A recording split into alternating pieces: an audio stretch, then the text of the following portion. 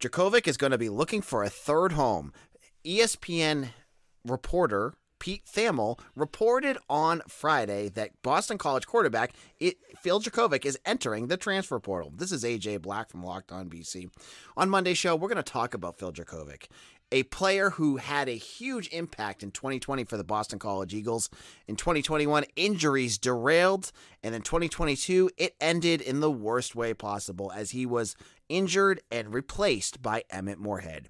We're going to talk about his career at Boston College, what he meant to the BC program, and look at a career that was kind of derailed by some unfortunate events. Make sure to follow Locked On Boston College on YouTube or wherever you get your podcasts. And follow me on Twitter at AJBlack underscore BC.